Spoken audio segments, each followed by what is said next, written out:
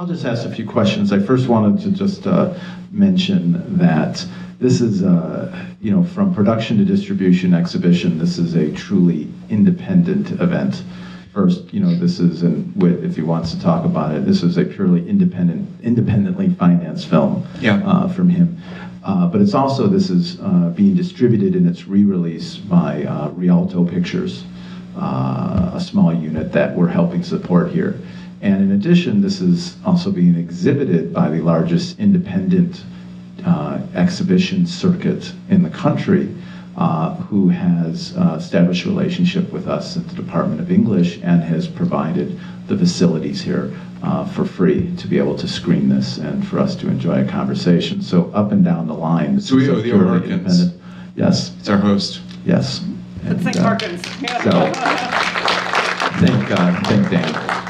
Uh, so um, this Bu- is Buy some popcorn on the way out. buy some popcorn. Yes, buy some popcorn.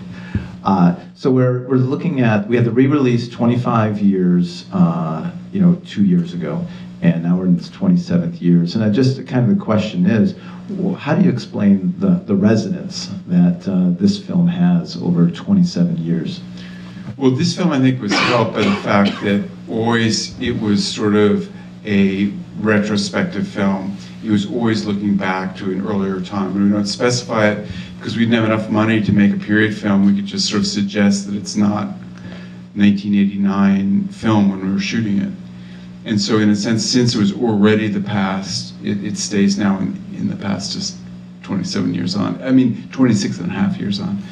And so um, I think that helped, you know, give it that, you know, preserved in amber quality. Because I know you've talked a lot about how doing this on a very low budget, how you were able to kind of steal shots. How are you how are you able to find shortcuts and trying to capture a past time, but not with a lot of money uh, to do so? Can you explain just in this movie some of those techniques you use to capture a moment before, but with a very very little budget?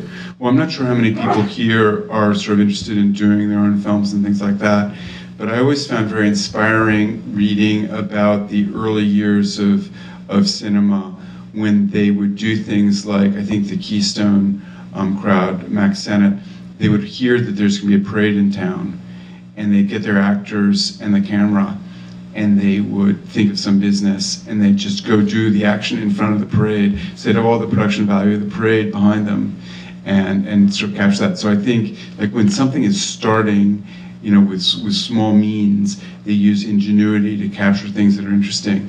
And so for us in the in the winter of 88, 89, it was, it was sort of Christmas 88, New Year's 89 that we started shooting.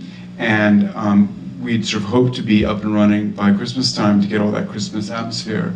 But uh, we really weren't ready yet. But um, we, we went out with a, a camera. I think it was uh, an assistant, um, the cinematographer, and I did the daytime stuff, um, capturing little glimpses of New York at Christmas time, stealing shots around. And um, I think we probably had a permit or something, but it was just whatever we saw in New York. And then um, between Christmas and New Year's, there was going to be this dance um, that's discussed in the film, the Ersatz dance, the uh, international debutante ball with the uh, with the cadets and the Texas debutantes, and we knew that was going to be at the Waldorf Astoria.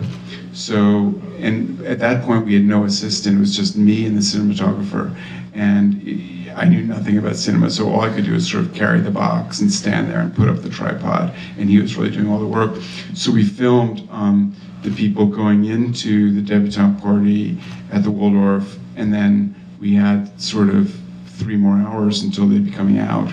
And so we went shot the front of the plaza, and we shot the windows on Fifth Avenue. and I think we saw a window with the Jane Austen set in what was then Brentano's bookstore, but it had historically been a New York landmark, Scribner's bookstore. And um, then um, we went back and shot these um, girls and their de- their escorts coming out of the Waldorf in these beautiful um, dresses and stuff. And then we looked at the dailies the next day. We also drove around New York in a car, did all this stuff. So much of the footage we shot was just terrible. All the stuff that we shot in the car, I think me driving and him doing handheld, looking out the window at New York. I mean, it was just much too bouncy. and then it turns out that this free camera we had from Duart Film Laboratory, so their deal was if we would do the blow up to 35, we're shooting Super 16. If we do the blow up at their laboratory, they'd give us the Super 16 camera for free. What they didn't tell us was that the key 20 millimeter lens, which is the key lens for a Super 16 camera, failed in low light conditions. And we were only shooting in low light conditions, so everything was a failure. And so everything was out of focus outside the Waldorf. Um, and it was just heartbreaking after all, all, this. But then the editor later on found out that by doing montages with that soft focus stuff, it looked like it was atmospheric. But put music and montage uh, dissolves. He did dissolves of that, and it looks like it's intentional effect. And um, then we cut in for one, we represented one party just by having the outside of the plaza and the music going on inside. And then another party that we thought we were gonna have to shoot some footage of, we just have sort of a, a, a winter window in one of, you know, Saks Fifth Avenue or Macy's or something, in which there are little figures dancing around. And we saved money on having an actual dance with that. So we used all these, you know, found things in, in the movie. And then, you know, Audrey Rouget walking around um, Manhattan looking sad. And we got the rights to use these two wonderful, obscure soul songs. And since we really couldn't afford to have many songs, we used each one three times. We got a, a deal to use each song three times. Dry Your Eyes, and, uh, and, and another one. And uh, so it was just piecing these things together, but it kind of helped us, you know, these diverse elements in the film. And I like the, the one found thing uh, story that you had shared with us uh, because it was a non-union shoot. If you can just briefly explain how you found that the person who opens Audrey's mother, who opens oh, the movie. Yeah. So one of our, I mean, so the really good thing about shooting a film um, in this age group is that there are just tons of actors in New York um, who can play 18 and 19 year olds. So they might be from 18, from 17 to 26. That's the age range in the film. Um, there are tons of actors in this age range, and so they all turned out. There are hundreds of people who came to our auditions, and fantastic. But because we're a non-union film and kind of a non-budget film, um, we couldn't have SAG actors or professional older actors to play the parents. And so um, one day, there's a beautiful actress who plays Cynthia, who is enamored of Von Sloneker, and she's in the last scene with her bikini and all that. It's a beautiful Isabel Gillies. and um, Isabel Gillies' mother, um, Linda Gillies, came to set one day to wish her daughter a happy birthday or something like that. And we say, you know, Mrs. Gillies, um, would you consider playing uh, Audrey Rouget's mother in the first scene of the movie? And so she accepted to help her daughter out in this first film and she's very nervous. And uh, and we cut a lot of stuff out of that, and we actually thought of cutting the whole scene. We thought it looked very awkward. But then when we cut that scene out, the next thing looked awkward, and then if we cut that out, the next thing looked awkward. So we just decided we're gonna have an awkward scene at the start of the film. And I think one thing we learned is that you can have a slightly awkward scene at the beginning of the film, but you don't want it in the middle of the film. And so we had that, and then the um, mother of Tom Townsend. So Tom Townsend played by Ed Clements, and he was an acting student who was 25, looked younger. and the only person we could find to play his mother, who sort of looked like him in coloring, and that was kind of wonderful, was a 30 year old actress. So we have a 30 year old actress playing the mother of a 25 year old actor. And, uh, and it sort of worked. Would I have a kind of content question? Oh, uh, Or you could do a theme uh, question. Uh, toys and books are so central to this, and obviously the idea of coming of age and childhood and adulthood. Which toys, which books, and, and do you think of those as important elements of this film? Yes, but I mean, are there more toys than just the ones he finds in the box? Isn't Uh, that the well, only there's the? Raggedy Ann doll next Okay, to the. you noticed that. I, I, I so um, Devoney, who's very observant, unlike me, um, noticed that in the shot of the Jane Austen box set in Brentano's window, historically Scribner's window, there is a Raggedy Ann doll. And a jump rope and a building block. I mean, So it's, it's I completely spaced on the fact there's anything other than a Jane Austen box set. I was just interested in the Jane Austen box set. I didn't see that. And um, we do have the idea of this sort of maudlin story of Tom Townsend and his father leaving town. Um, he goes to Santa Fe, doesn't he, or something like That's that? right, He goes to Santa Fe, warm weather. Um, and without telling him, and they have moved out and they've just thrown uh, his precious toys with the kind of crucial derringer. Because there's a film rule if you show a, a gun in the first reel, you have to use it by the. So I, we follow that rule. If you show a derringer in the first reel or in the second reel, you have to use it by the end of the movie.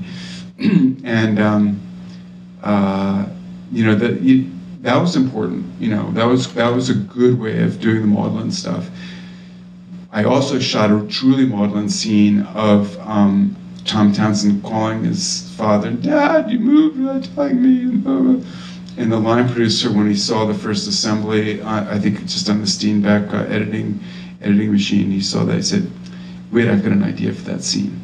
Take that scene, cut it, and mail it to your father, and just don't have it in the film." And we didn't do that because when we were editing the scene of the girls talking to Tom Townsend, they call him to ask him to come to some party. Um, and the girls are all in, in my uh, multicolored sweaters. They look really ridiculous. Um, we didn't have any image of Tom Townsend talking to them. And it, was re- it really was weird. And so in that footage of the Maudlin talk, for some reason, he sort of seemed to smile.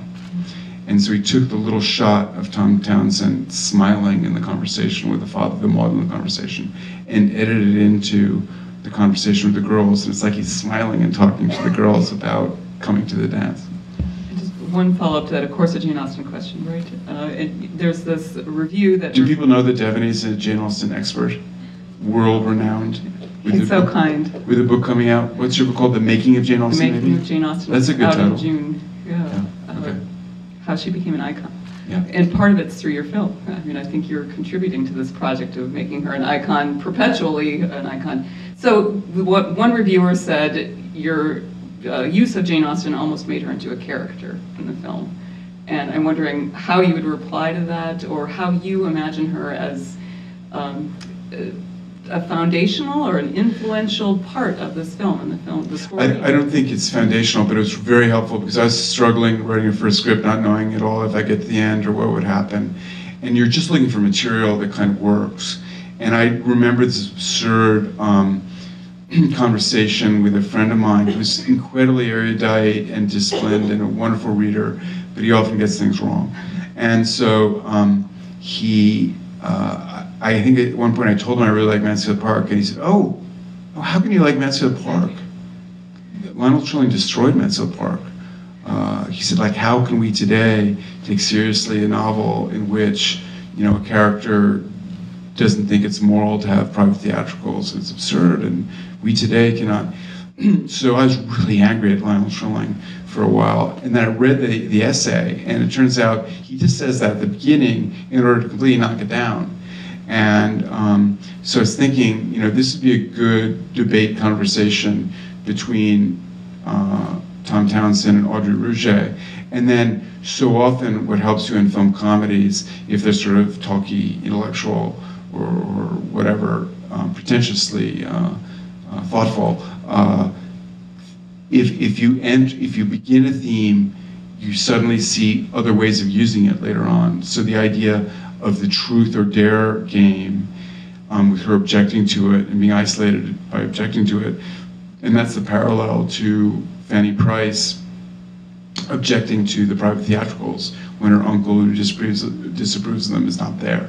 And so there were uh, like three things helping us out in the film by Jane Austen. And one of the tricks we try to have in our films is to refer to things that a lot of people know about. A lot of people know about Jane Austen.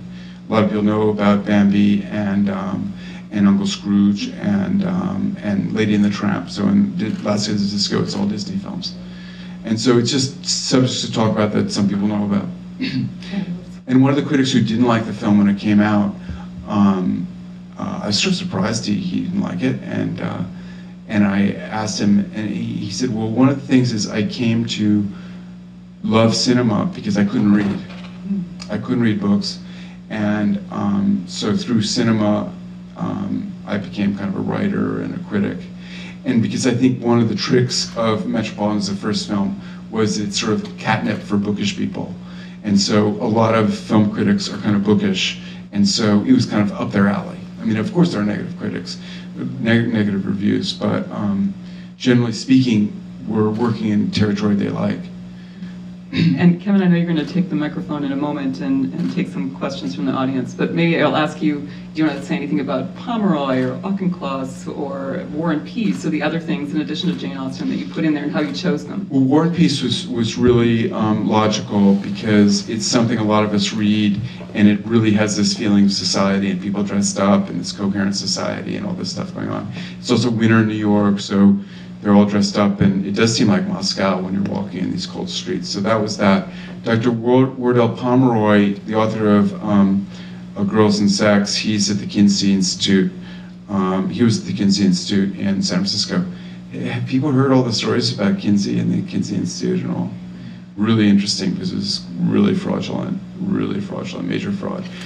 Um, and so, um, I don't know, I, I guess there's too long production story there was there a third thing you mentioned? At the Auchincloss at the end when Audrey's holding. Oh yeah, that, that was like the big book that all the people from this background, all the UBs, the UB parents, the book they would have taken seriously would be the Rector, Rector of Justin by Louis Auchincloss.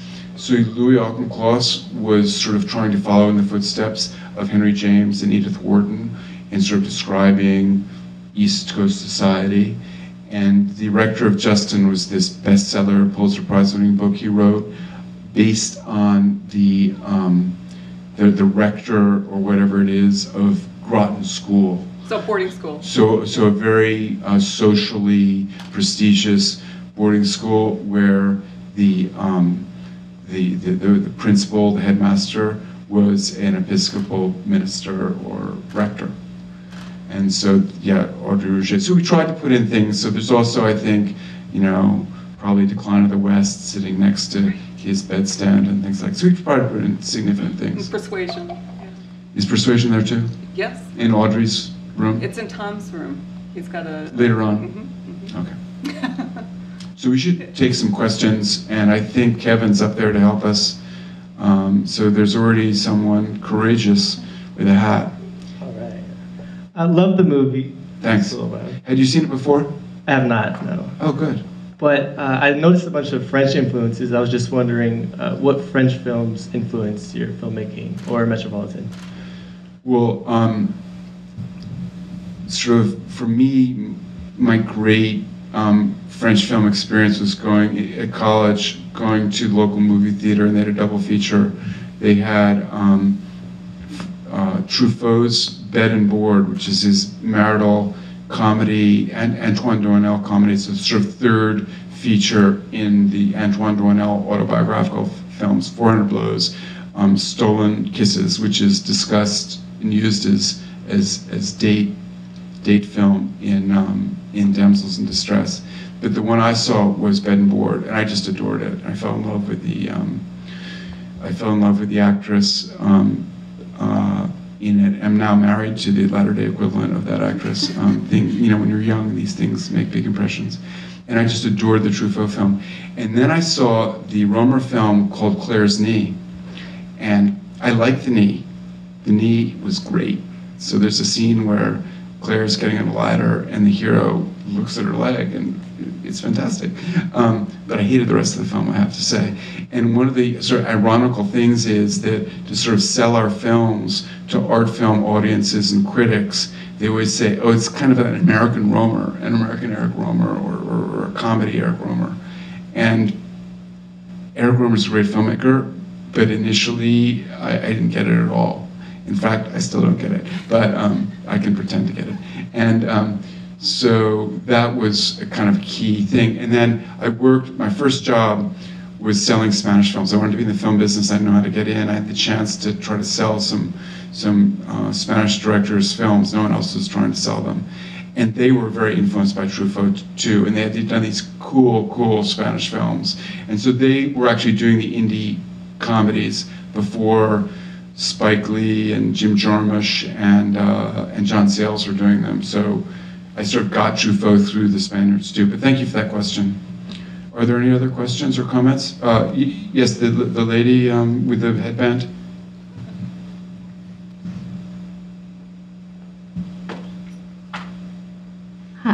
Hi. Um, I was just curious if you were to remake uh, Metropolitan and put an implied it to today and the youth of today, how would you imply the same characteristics for like your characters, Tom and Audrey? Would it be difficult to apply to what the youth thinks of today? I don't. I hope not. I don't think so. And one really interesting thing happened to me. Like the great thing for me right now. I hope it keeps being great. Is um, I have a chance to work with some people at Amazon, and the first way I got to know them is that they, the fir- the lead guy there really liked Metropolitan, and they had the idea of open sourcing. The original idea of Amazon Studios is they're going to try to open source it to filmmakers to do their projects and put them up on the internet. You know, have a kind of competition, and the ones they like they put up on the internet. And um, and so one of the first things uh, they did was licensed Metropolitan, um, option it for remaking. And they thought that there are a lot of really talented filmmakers who don't have written material and we, they could give them this idea, this group of people with an outsider coming in and all that, and they could, you know, remake it however they wanted. And um, I don't think they should have tried to do similar milieus, but let's say they could do a group of people at a summer place. Um, they could do anything where there's a sort of a cohesive, or the idea of a cohesive unit, even if it's not really that cohesive, but the outsider thinks it's cohesive.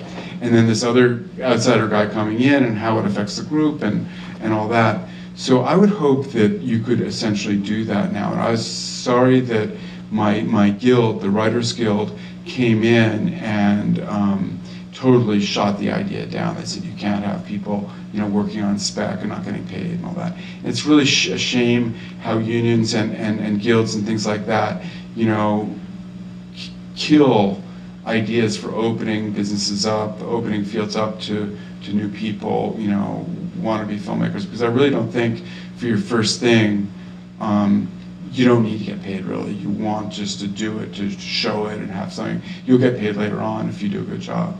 And so that's a very good question. I think you could do that. Um, I think you could have characters like that. Thank you very much. Thank you. This film reminded me of uh, Edith Wharton's Age of Innocence, even though it's set in the 1890s, and the Scorsese Scorsese Yeah, movie, yeah. which is I think from around Did you- did 92, you- which is a couple. Did you notice that those are the only two films the lead actress is in? Did you remember that? The only major film that Audrey, that, that Carolyn Farina, who plays Audrey Rouget, was cast in was that film. Oh, really? Yeah. No, because I saw She was I, I saw as- Age of Innocence a long, long time ago. Yeah. So she had a part um, as um, Daniel Day Lewis's snobbish elder sister, who or, or snobbish sister who is, you know, making uh, catty remarks and nasty remarks about other people. So do you see some thematic simil- similarities or? Yes, I do, and that's the Scorsese film I like. Um, I think it's a great film. It's really beautiful, and um, it really interests me the casting thing because it the the situation for actors is so hard. Um, so Carolyn Farina playing in our film was a real stretch for her. She was a Queens girl. She really was from the John Travolta neighborhood in um, Saturday Night Fever. She comes from Queens. She sort of had a Queens accent. Um, and I, one thing I kind of got annoyed with um, Ed Clements, who is from Toronto, um, when her accent would slip, he would like laugh and oh, and um, she was really doing a brilliant job because she she played it you know in a beautiful and lovely way. But there was some sort of boring, um, very preppy blonde types who saw the film the first time said, "What is that girl doing playing this debutante part? She doesn't look like her at all." And then the cat, but the casting, so she didn't get work for a while. And I'd ask the casting directors, why don't you bring in Carolyn Farina? Why don't you do something with Carolyn Farina? What's happening? Why isn't she being used? And they say, oh, yes, we bring her in a lot. Whenever we have a preppy or debutante-ish part, we bring her in. But she was totally cast against type on that. And so um, when I was making the film Damsels in Distress a few years ago, we had to have a sort of local waitress at a coffee shop um, talk to the Greta Gerwig character, and we saw the tapes of the people, the casting people were sending us. It was sort of the same casting people actually who brought her in for the Debbie parts, and so I really wasn't happy with these uh, actors. So I called her up and said, "Could you do me this favor? Could you come in and play the waitress um, at the coffee shop?" And I just kind of wanted it to be there to show people that she had huge range. She could play all these different things, and that if she wants to get back to acting, she's now, I think, a psychologist in public schools. Um, uh, but if she ever wanted to get back to acting, that she could have more in her reel.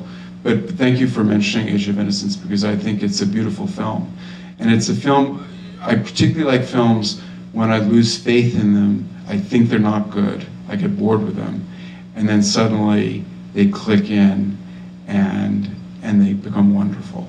I mean, I think it's kind of great when you doubt something. It's, he does tend to go on kind of long, and I think in a way he's hurt by the fact he has so much money and time and talent working for him. Like the beginning of Age of Innocence, I thought they were just photographing the wall, wall decor and the table decor because it's also beautiful, and we we didn't have that problem.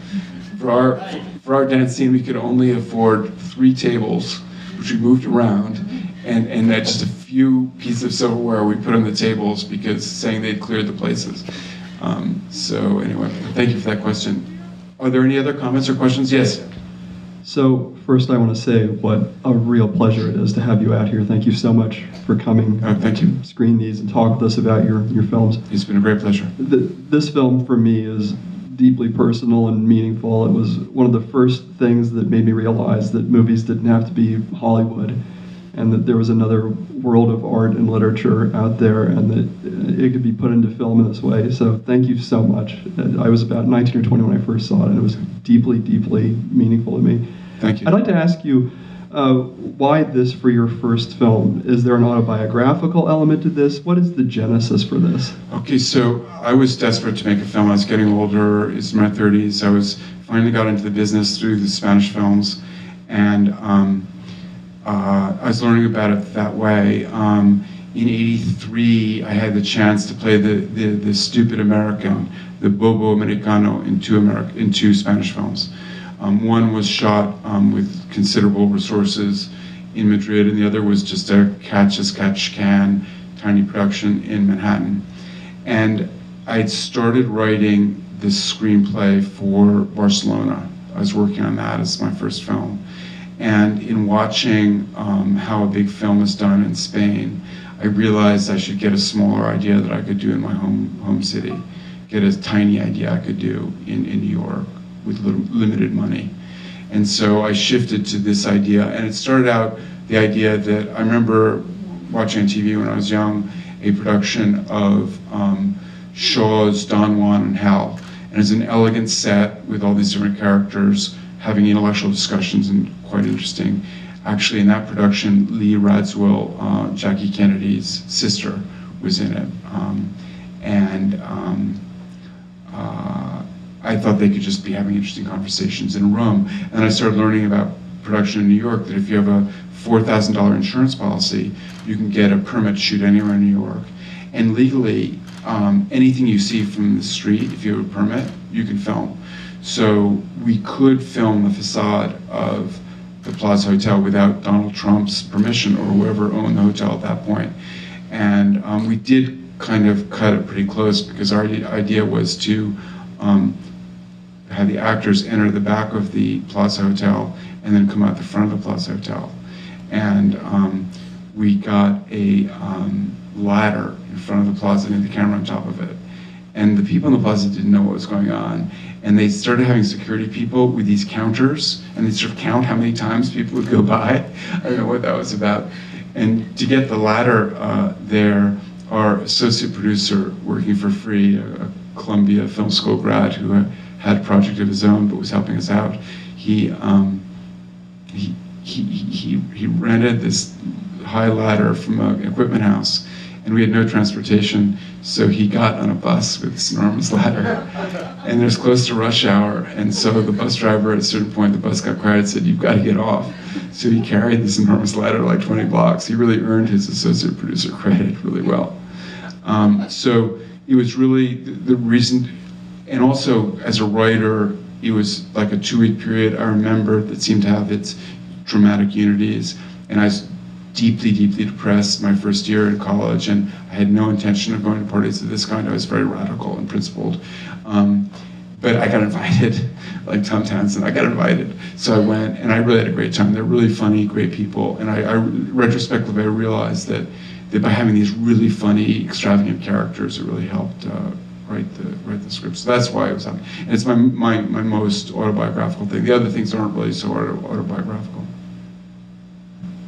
Thank you for that question. Um, this, uh, we're, we're speaking of 25 to 27 years after uh, Metropolitan. Uh, how has the independent film business changed since your first trio films in the 90s uh, to these last couple uh, with Damsels in Distress and, uh, and the most recent one, Love and Friendship? Well, um, the um, the, the film business has oddly returned to where it was in the 80s for, for independent filmmakers. It's really very similar now than it was in the 80s.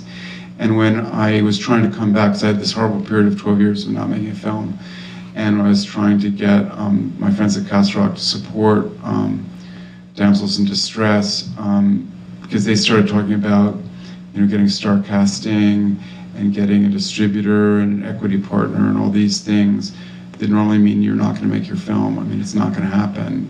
You're not going to get stars. And and so I said, you know, I think I could go back and make a metropolitan kind of film with damsels in distress. It could be it could be really cheap. It could be a five hundred thousand dollar film, and um, you know that's sort of inflation for what metropolitan ended up costing. And um, the, with great people there, you know, were really stimulated by that, and it ended up coming up privately just between the different partners of Castle Rock with the money they made from Seinfeld, you know, put money in and allowed us to make Damsels in Distress for more money than that. But they were given um, confidence because um, there's a really good company, Sony Classics, and they, they did a wonderful thing. Um, they told um, um, Castle Rock that they take the film just writer director. They just take the film that we did. We didn't have to start casting and um, that was of really the sort of the green light for, for doing the film.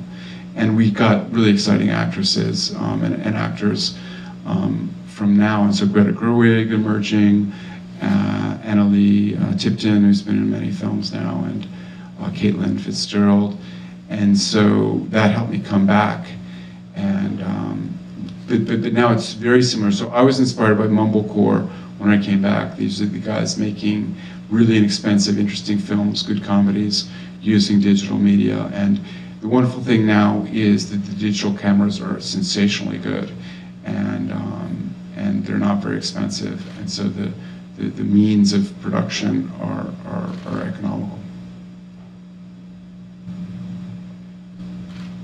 One thing that I it is really loud. Um, one thing that uh, I was wondering is because talking about it being like modernized and redone and everything. Yeah. Do you think that it would be possible that it would like it being modernized would retract from the ideas that was getting across um, and like some of the more subtle uh, points that I think it was making? Yeah, I mean the ideas would have to be different. I mean, if someone used it as a template um, they'd have to put their own ideas and their own experience into it and their own personal things and concerns. I mean, I really think it's important when you're working on a project that there's a lot in it that's really important to you and you really care about.